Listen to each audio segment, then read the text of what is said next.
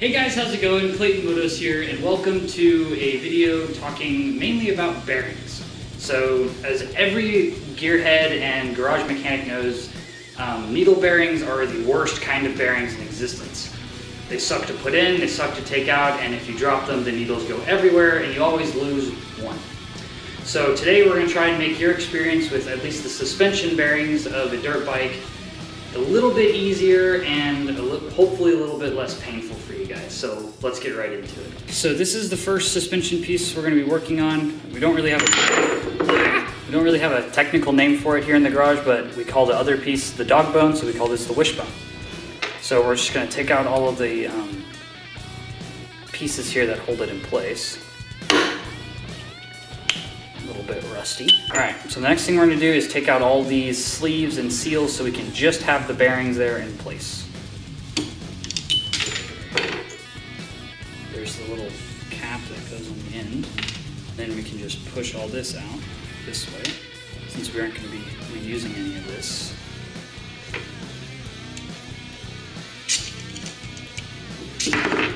There's the sleeve. Now we just have bearings.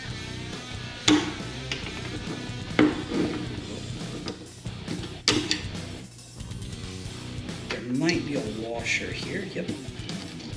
Just like that. The other side. And the procedure is the same for the top section. Okay, so now we've gotten to just the bearings right there. And the secret weapon to this part specifically is there's no lip in the middle. It just It's just a hole that goes straight through. And so you have to set the gap of the bearings when you put them in. But for getting them out, all that gives us is a really easy way to do that. So let's get into it. So we're gonna open up our vise all the way and then we're gonna set this um, with the end of the vise that's gonna be pushing, it's gonna push on the socket itself. And in our case, this is a 19. We're gonna use a deep well because it'll go all the way through with a little bit of space left. So we're gonna set it right on the edge of the bearing and make sure that you aren't pressing on this metal outer, um, outer section you want to make sure you're pressing on the bearing itself. And then you're going to tighten up here and keep make sure to still keep an eye on that, on where the where your bearing is. When you're heating up, there's a couple different techniques on how to get it to the right temperature. If you drop water on it and it sizzles, you're at the right temperature, or you can use a little IR thermometer and get it to about 230 or 240 degrees Fahrenheit. And when you do this, you want to make sure you work all the way around the bearing and not just focus on one place in particular.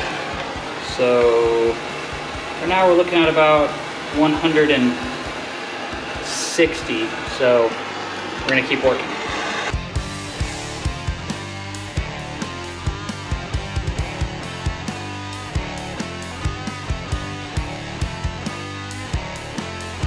We're running right about 230 now, so we're gonna give this um, couple twists here and you should hear the bearing break free. There it was. Mm. And so now you're just gonna keep pushing on it and usually you're gonna need some kind of extension on your little handle here. So we like to use the um, socket and breaker bar approach, um, which can be, can get a little bit tricky because the head swivels here, but usually it works pretty well. That works.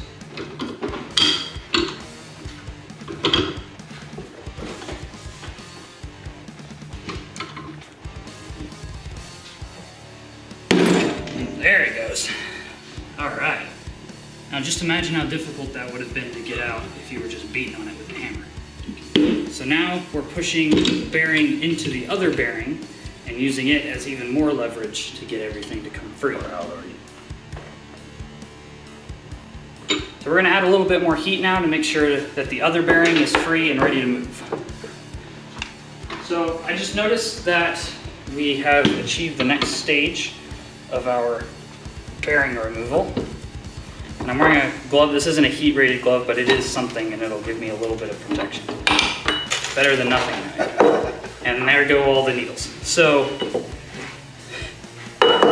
as you can see, we've pushed the other bearing to be even here. So if we keep pushing, it's just gonna push it against the actual, um,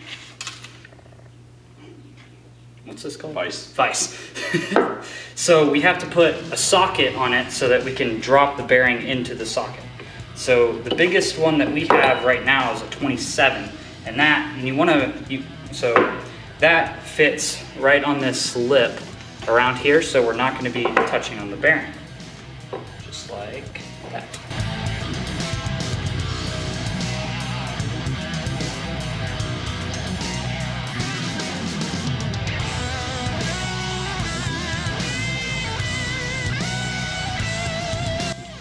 there's both bearings out, and the procedure is exactly the same for this top section, so we'll just give you all a time lapse.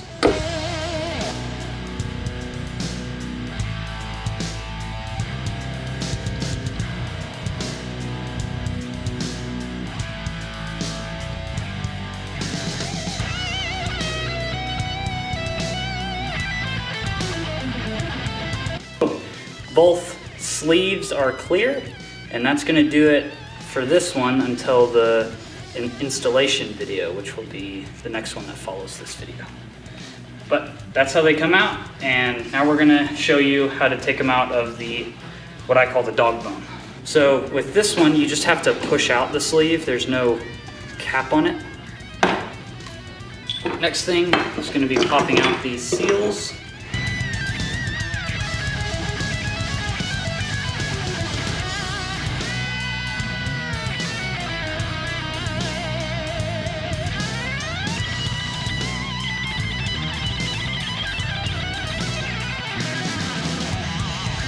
So the procedure is going to be different for this piece because as you can see it slims down really hard here in the middle.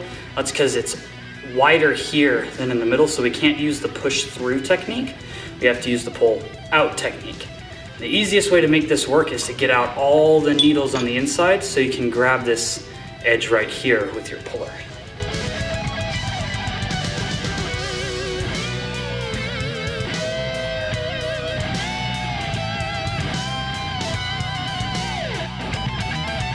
This is our bearing puller.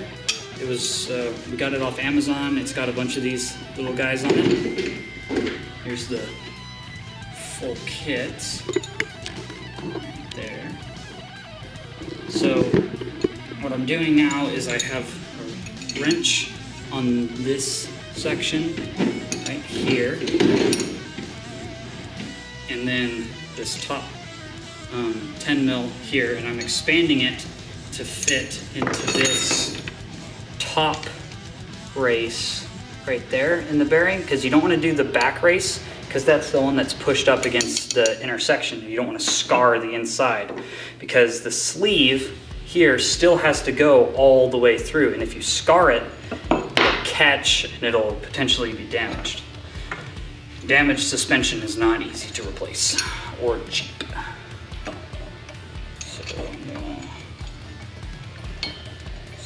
Spin this open in here because I want it to fill as much of this space as possible so that we can keep it from breaking. So now, if you're gonna do this, you might wanna take one of these legs and hook it underneath the edge of the um, vise here just to give you a little bit of extra security. You can use a set of soft jaws, but I found that they kind of slip too easily and we're heating it up and we don't want to potentially burn it. So get that tightened up in there. And while he's heating it up, I'm gonna go ahead and set up the rest of the puller. So this is the rest of the puller here. There's a big nut on top that's for adjusting everything. So I'm gonna adjust this looser and then there's internal threads inside that. I don't know how well y'all can see that. That I'm gonna thread. Here, let me give you all a little bit higher angle here. There. And I'm gonna thread onto the top of this, just like that. And then I'm gonna, I'm gonna adjust this down. So these legs can, for right now, be wherever you need them to be on the edge of the bearing. But as soon as you start pulling the bearing out, you're gonna have to move them to where they're not on this inside portion, you need them to just be on the outside so you don't impede the movement of the bearing. So when you're doing this, you want to put a small 12 millimeter on this top right there. And then you're gonna take just an adjustable crescent. I'm not sure the size, um, just because we haven't really used anything but the adjustable crescent, but I'll put it up on the screen for you guys. So you're just gonna tighten this up. Mm. And if you heard that sound, that's the bearing coming out. Now smooth now.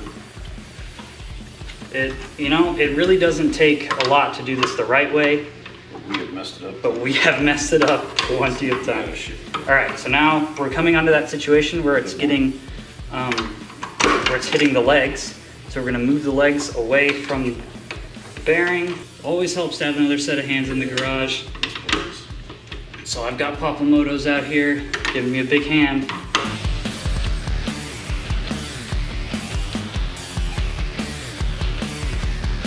And there's our bearing. Came right out, no problems. Now we're gonna flip it over and the procedure is the same.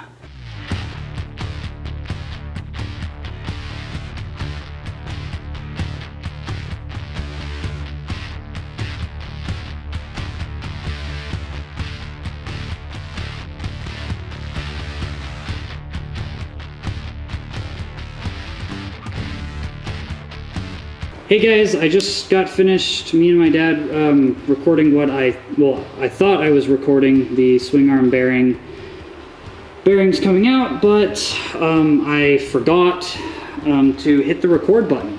So I'm just gonna give you guys a brief overview. Um, hopefully it doesn't ruin this for anybody that that's what they were looking for specifically. Um, it was the same procedure as the first bearings um, with the push through method. We took the uh, 19 millimeter socket and the 27 and we pushed them through into each other. Um, kind of bummed because there were some pretty satisfying pops that we got out of that. Um, and then with this side, you've got the seal, and then you've got these um, here with a washer, this interesting um, washer with bearings in it, and another washer.